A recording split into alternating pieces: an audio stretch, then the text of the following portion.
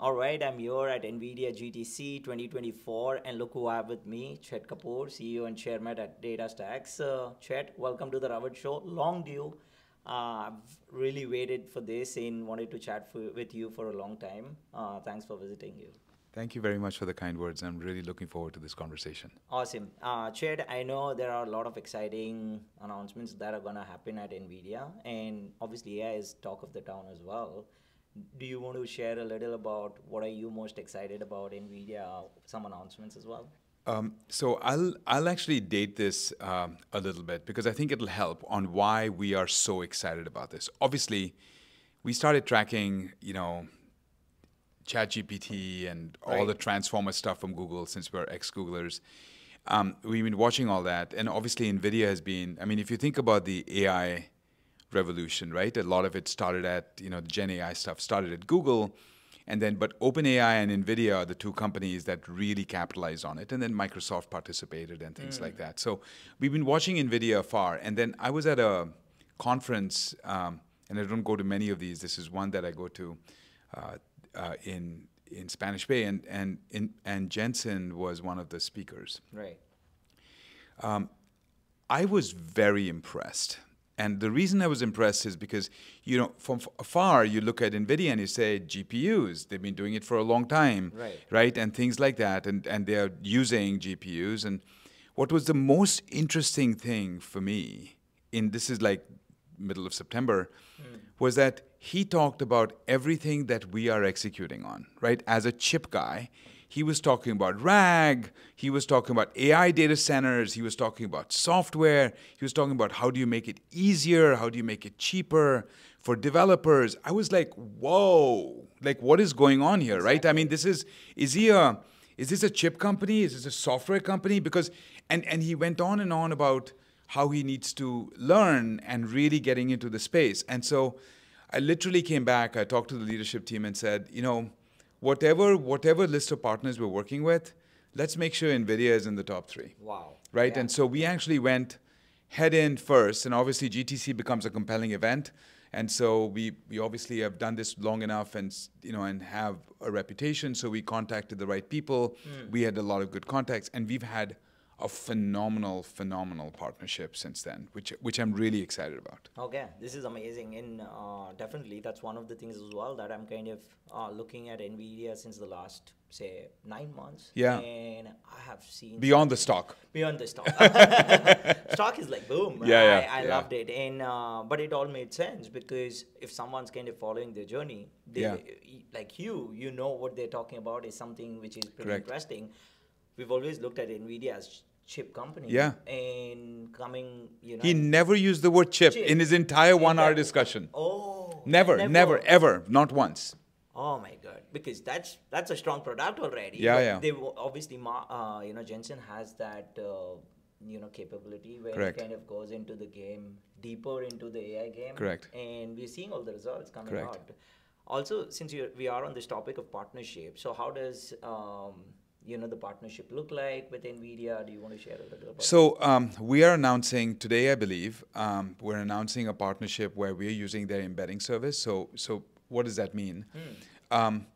everybody understands llms and prompts and things like that. Everybody understands that. What a lot of people don't understand and a lot of people are trying to get it because it's early days is that you you cannot you have to use llms for content but you have to get context from enterprise data, right. which is stored inside a database and it is vectorized and things like that. To if you if you need so you, to, to vectorize that data, mm-hmm. you need to use an embedding service. Right. You can use OpenAI. NVIDIA has, and by the way, there are many of them, right? Vertex, many of them. Um, NVIDIA has an embedding service mm-hmm. uh, that they're going to talk a lot about at the conference. I won't give you the name, but they have an embedding service.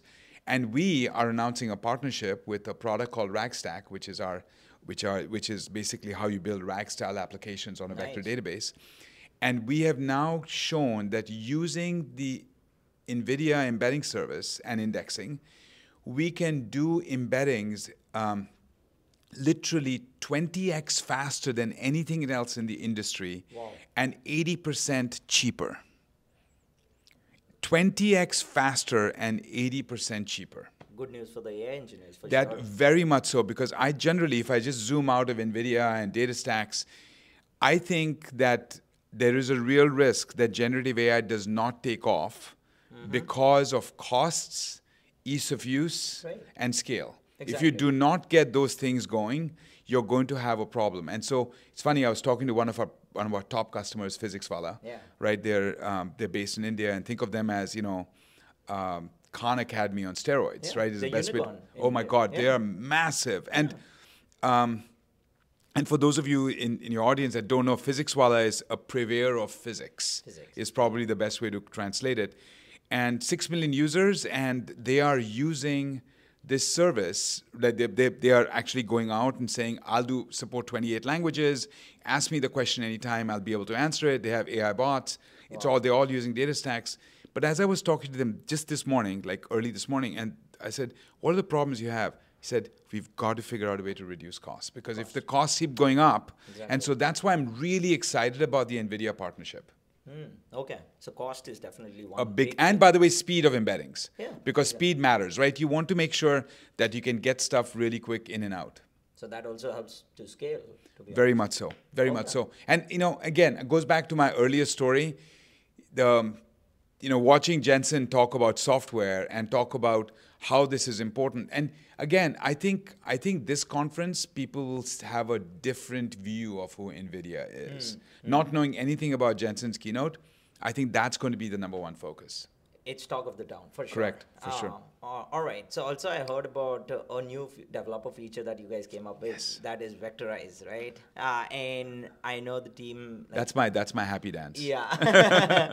uh, I'm pretty sure the developers already excited, but can you tell us a little more about it? So if you if you think about it's a it, the feature is called Vectorize, and if you really think about a developer's world, right?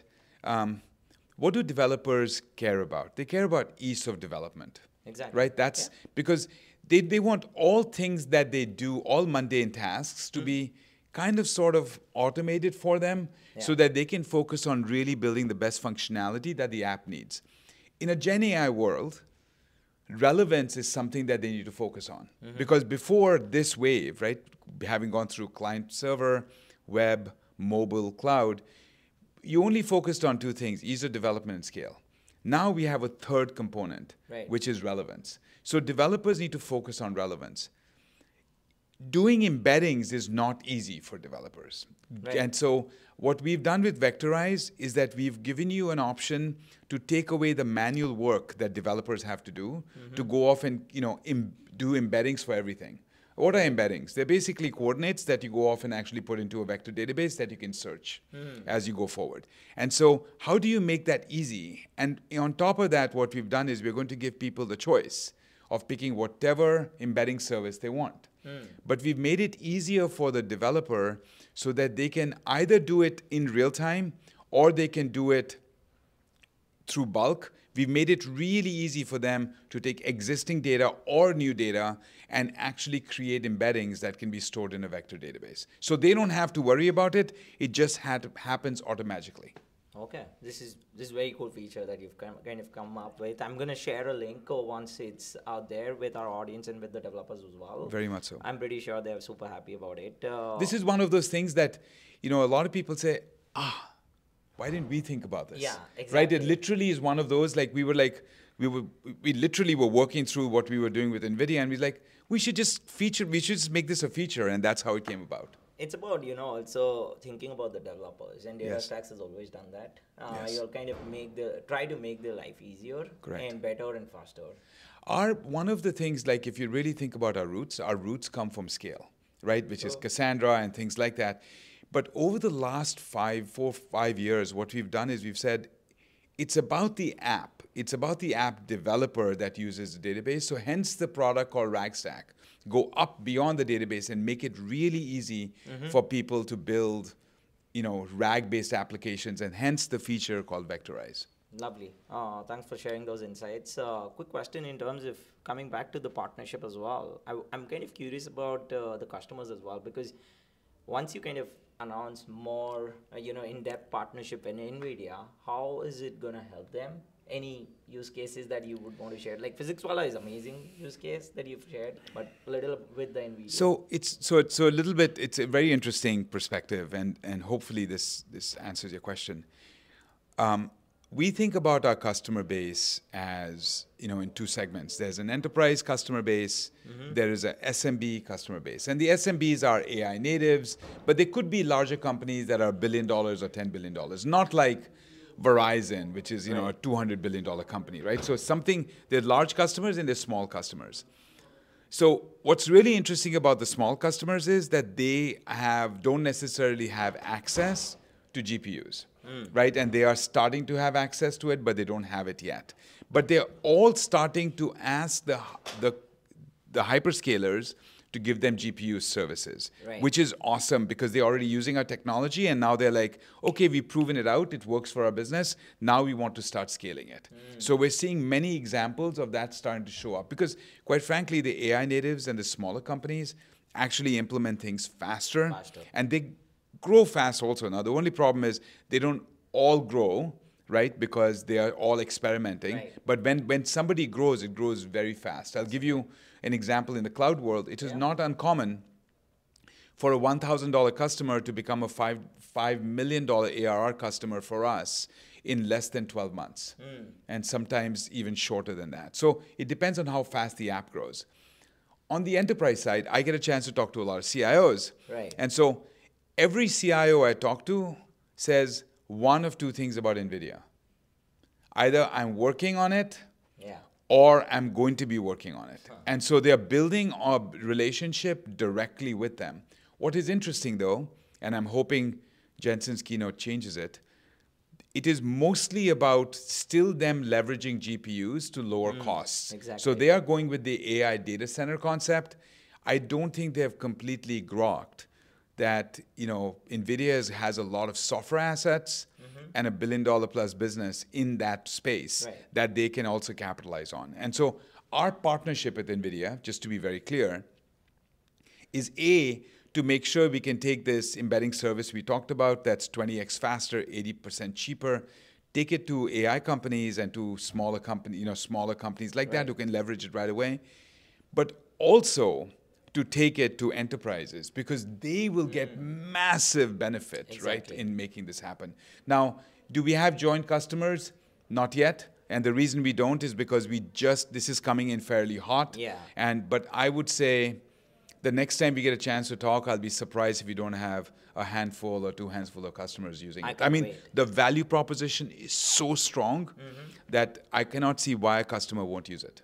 This is amazing, uh, Chet. Uh, you know, I can't wait to see the partnership getting into the depth. I'm looking forward to Jensen's keynote as well, and definitely, I think enterprise AI is one of the hottest thing that's gonna happen in 2024 as well. Like I was talking to a, a leader who's uh, you know in Unilever, and he had similar insights. What are you're just talking about, like I can resonate it so well. So uh, thanks for doing this again, and I can't wait to you know see all the announcements that DataStax will be making. Absolutely. We are maniacally focused on one thing in, for 2024. And we were just talking about Yeah, this before the interview, which is we think that 2024 is going to be about production AI. And so our goal is very simple whether you're a small customer, you're a startup, you're a mid sized company, you're a large customer, our goal is to, through our partnerships and ecosystems, we want to make sure we give you as much technology as we can so that you can actually go into production as quickly as possible. Because we really think that 23 was the year of thinking and experimenting. 24 is about going into production. And the and the speed at which customers want to go into production, even large 100 billion dollar companies, it's absolutely amazing. It's like thrilling to see. Yeah, I can't wait. Definitely looking forward to it. And uh, thanks for sharing all the insights. Uh, the next thing uh, is for our audience if they want to reach out to you, uh, which is the best, best place? Like, is it LinkedIn or? Um, Uh, LinkedIn works really well. Okay. Uh, and so uh, you can also send emails directly to me. Okay. And so, uh, and I'm sure you can show the email. It's chetperiodkapoor at datastax.com. Fantastic. Chet, thanks again for doing this. Uh, can't wait for all the announcements and uh, definitely looking forward to chatting with you more on the Ravit Show. Awesome. Thank you very much. Thank you, everyone.